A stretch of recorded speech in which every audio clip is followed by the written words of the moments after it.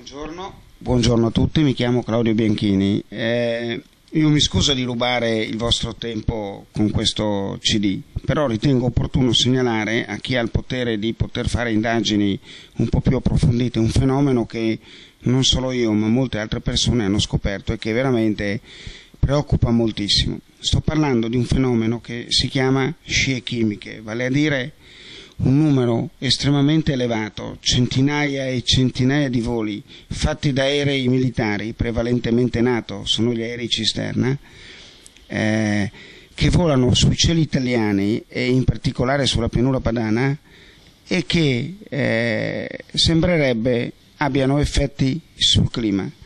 Ora cerco di documentare un attimo la portata di questo evento innanzitutto che è veramente eclatante e soprattutto il fatto che vi è più che un ragionevole sospetto, la quasi certezza che sia un fenomeno occultato sia con il concorso dei mass media sia da parte delle autorità. Non so dire se sono autorità militari, politiche o civili, tipo le prefetture, ma sicuramente un'operazione di copertura c'è ed è molto preoccupante. Allora, vado a cominciare a farvi vedere alcune immagini. Il fenomeno è già stato scoperto negli Stati Uniti a partire dai primi anni 90 ed è noto come chemtrails, che tradotto letteralmente vuol dire appunto scie chimiche, da non confondersi, questa è una premessa importante, con le scie di condensa, che in inglese si dicono contrails, appunto, scie di condensa. Le scie di condensa sono prodotte dagli scarichi eh, di carburante, dal prodotto bruciato dai reattori e arrivano eh, molto, molto calde, arrivano a contatto con l'atmosfera esterna che è di solito meno 20, meno 30 ma anche meno 50 gradi soprattutto in alto, in, ad alte quote e si raffreddano di colpo per cui si cristallizzano per alcuni secondi ma una volta che sono diventate a temperatura ambiente la scia, queste particelle scompaiono perché fondamentalmente è carburante. In 30 secondi non c'è più traccia di queste scie. Quello che invece io sto parlando è una cosa completamente diversa. Ecco qua. Ecco qua. Guardate questo filmato.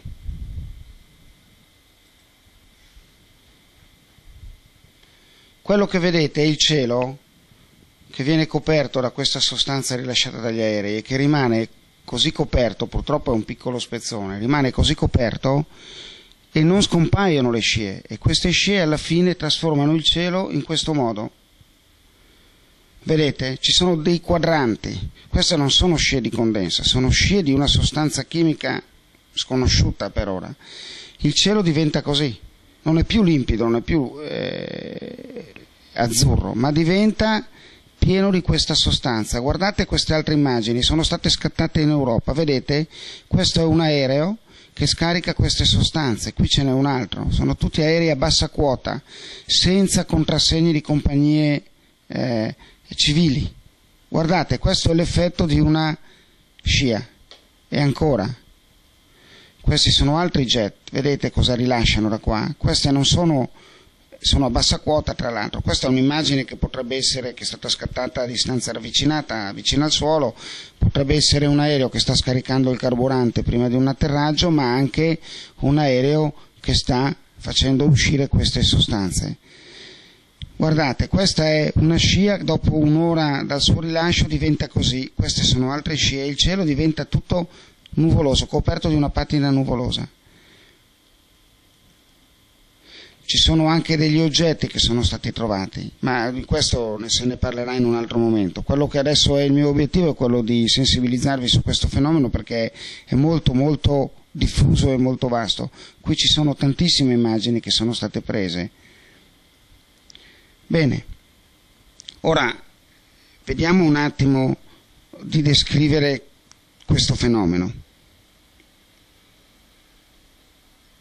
Queste sono immagini che sono state prese negli Stati Uniti negli anni 90,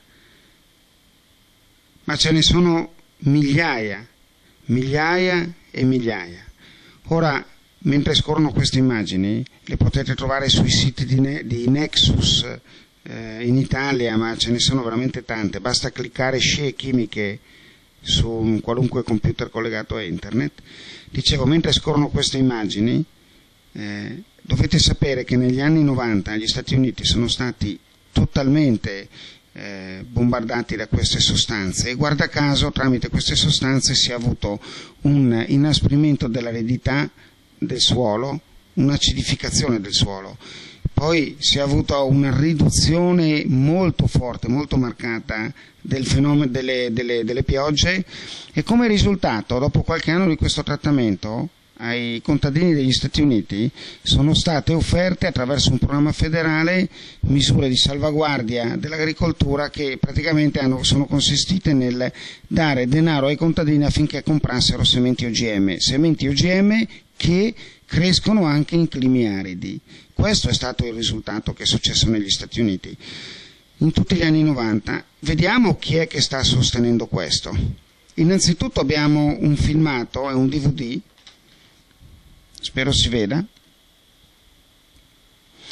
che è stato fatto da Gambino e Benvenuti, i quali dimostrano come negli anni 90 cittadini al confine tra gli Stati Uniti e il Canada e tra il Messico e gli Stati Uniti sono state oggetto di questi fenomeni di sostanze chimiche rilasciate dagli aerei. Questi signori, dopo diverse petizioni, hanno scoperto che queste sostanze chimiche contengono bario, alluminio, quarzo il bario serve per riflettere la luce solare, eh, il quarzo scusatemi, il bario e l'alluminio vengono usate per raffreddare e per cristallizzare le molecole di pioggia, l'acqua praticamente che è presa, l'umidità che è presente nelle nuvole. Peccato che sono sostanze molto tossiche. La portata di questo fenomeno negli Stati Uniti è pressoché totale. Quello che vedete alla mia destra è una eh, un preso, un, un, fotogramma preso dal satellite, questo è, è la, la, il dato della fotocamera.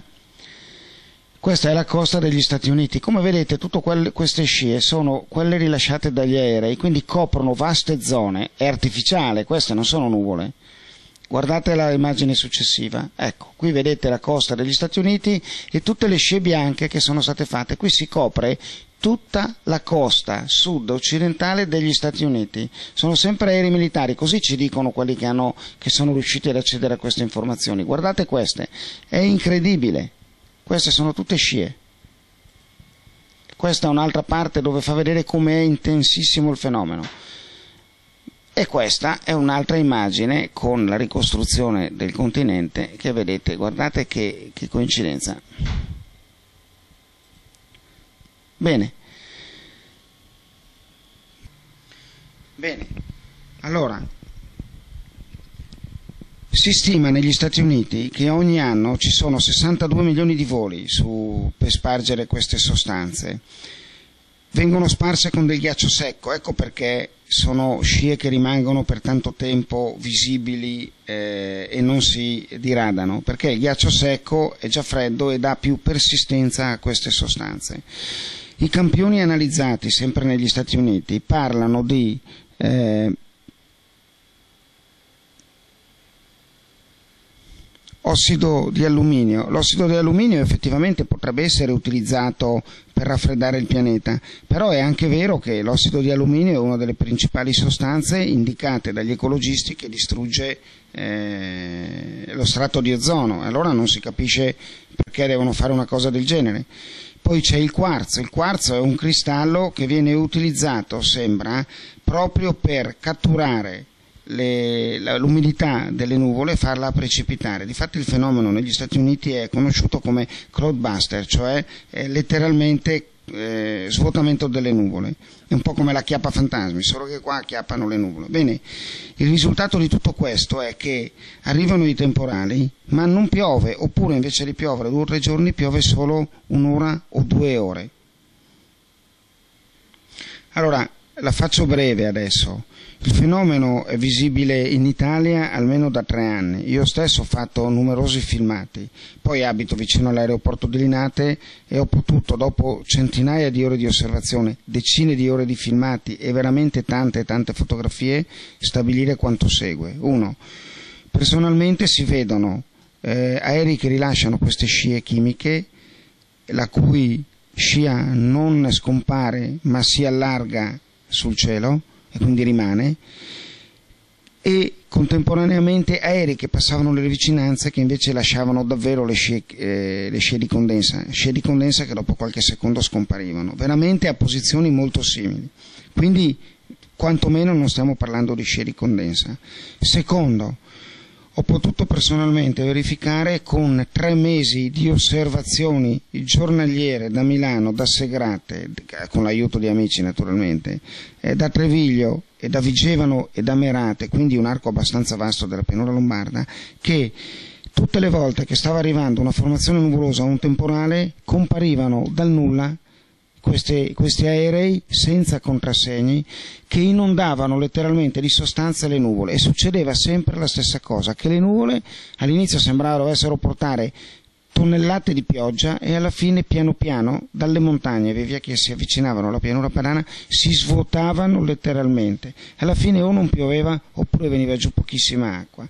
Terzo eh, abbiamo notato non c'è stato quasi mai giorno in cui non arrivavano questi sci. Nell'arco di una giornata sempre, sempre, sempre sono arrivati questi aerei che spargono queste sostanze.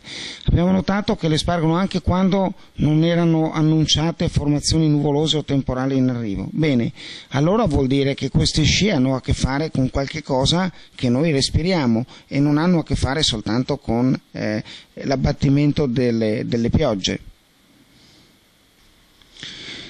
Il fenomeno ovviamente non è stato notato solo da me, questa è un'interrogazione parlamentare del 2 aprile 2003, io non so chi sia, di che partito politico sia, qui c'è Italo Sandi che appunto il 2 aprile 2003 ha fatto l'interrogazione parlamentare numero 405922, scie chimiche rilasciate dagli aerei. Bene, siamo nel 2005, per la precisione oggi è il 13 luglio 2005 sono passati due anni e qualcosa e non si è ancora avuta risposta. Quindi il fenomeno è documentato già da tempo, eppure non vengono date delle risposte. Poi, sempre cercando un po' di accorciare, facciamo altre tre considerazioni. Considerazione numero uno. Eh, esistono delle società eh, da parecchio tempo, sia statunitensi che russe, ma anche di paesi europei, che come mestiere, come attività, eh, spargono delle sostanze nel cielo per diminuire la pioggia o per far cessare la pioggia. Abbiamo avuto degli esempi in Russia durante le Olimpiadi, stiamo parlando del 1986, ne abbiamo avuti altri durante il tricentenario di ehm,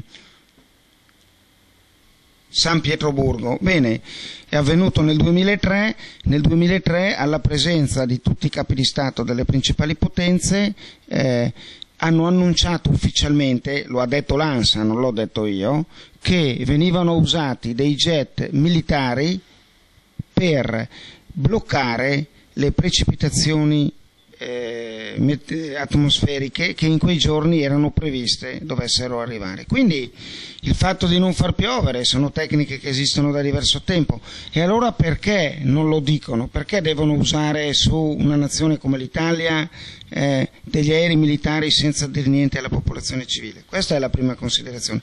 La seconda, qui si parla far volare un aereo militare di qualcosa come centinaia di migliaia di euro, di dollari per volo. Si stima che solo su Milano o su, comunque sulla pianura padana ci siano almeno 500-600 voli ogni giorno. Eh, perché si spendono questi soldi? Perché la gente non ne sa nulla? È giusto questo? Sono una montagna di soldi. Terza cosa fondamentale, per far volare degli aerei così che non, sono, eh, non si alzano per seguire rotte prestabilite servono numerose autorizzazioni e di fatti sappiamo per certo, non solo io, che questi voli si vedono tranquillamente attraverso i radar, quindi i controllori di volo sono informati di questo. E soprattutto le scie di questi